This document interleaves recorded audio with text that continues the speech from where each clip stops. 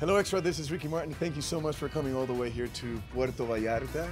The place Ricky picked to shoot his new project. The ocean, the sun, good food, good people. Martin inviting only extra along for an exclusive behind the scenes look at the making of the brand new music video for his hot new song. The music video is called Fiebre.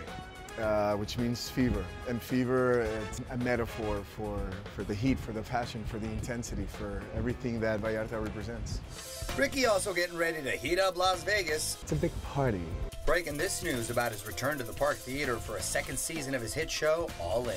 It's an exclusive concert. I am not allowed to perform this show anywhere in the world only in Vegas. Ricky donating a portion of the proceeds from his Vegas shows to help Puerto Rico rebuild after the devastating Hurricane Maria hit last fall. The goal needs to get higher because there is so much that needs to be done. The Puerto Rican star working tirelessly through his RickyMartinFoundation.org to help his homeland recover. It's the saddest thing. I, I, I go to the island and, I, and it's inevitable. I, I get really emotional because it's going to take forever for my island to be back to where it was. And Ricky will keep helping even when he's on stage. I'm surrounded by incredible musicians. In his All In Vegas show.